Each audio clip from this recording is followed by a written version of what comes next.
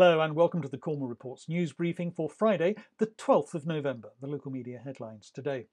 Bus users in Cornwall might soon get some idea of what's happening with more than £23 million announced by the government more than two years ago to bring down fares. At one stage, some routes were going to be free.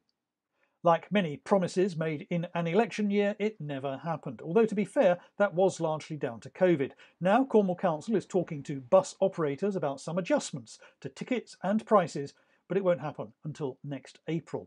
The Council is also preparing to put up car parking charges with effect from early next year. A formal announcement will be made next month. And if you'd like to be the Liberal Democrats parliamentary candidate in North Cornwall at the next general election, I can tell you that there is now a vacancy. Pirate FM has been doing a consistently good job of keeping up to date with COVID deaths in Cornwall and tells us that there have been 15 in a week. This is a significant increase on recent months and yet comes at a time when new cases generally appear to be falling.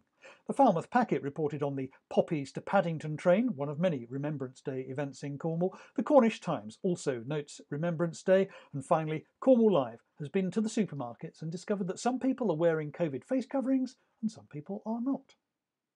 And those are the local media headlines for now. Thank you very much for watching. Do please share this video on social media. I'll be back again on Monday. Until then, have a great weekend. Bye-bye.